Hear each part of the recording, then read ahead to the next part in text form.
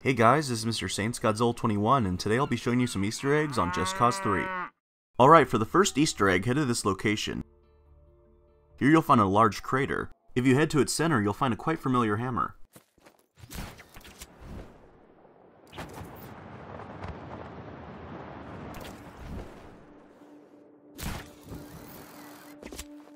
Yes, it's Thor's hammer Mjolnir. It's quite similar to the Marvel movie Thor where Mjolnir crashes in the Mexico desert. For the next Easter egg, head to this knife-shaped canyon. Once here, make your way to this small piece of land.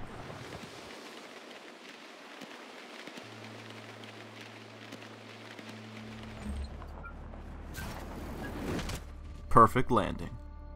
Here you'll find the diabolical Mr. Snowman. So, we meet again, Mr. Snowman. The last two Easter eggs can be found on the top left of this island.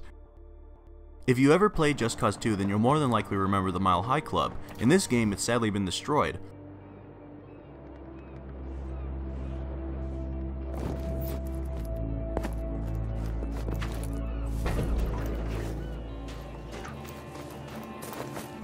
There's a few things to find here, but the most amazing thing is this bull. If you go up to it, you can ride it.